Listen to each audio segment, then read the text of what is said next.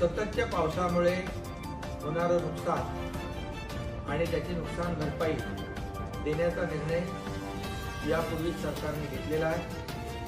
गेल्या दोन तीन दिवसामध्ये परतीच्या पावसामुळे झालेलं जे शेतकऱ्यांचं नुकसान आहे पिकांचं नुकसान आहे त्याचे पंचनामे युद्ध पातळीवर तातडीने करावे आणि त्या शेतकऱ्यांना तातडीने नुकसान भरपाई द्यावी अशा प्रकारचे निर्देश प्रशासनाला दिले प्रशासनाने त्याची तातडीने अंमलबजावणी करावी.